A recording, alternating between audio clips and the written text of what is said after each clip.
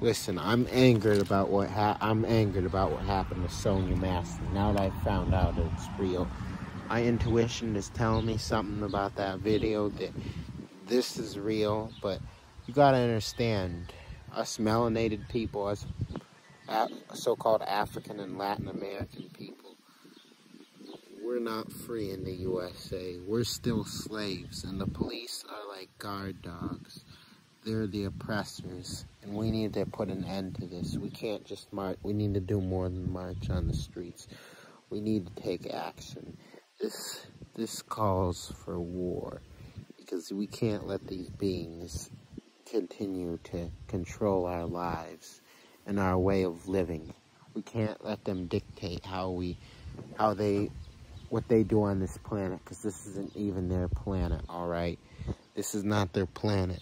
So they shouldn't be able to dictate what happens on our planet, alright?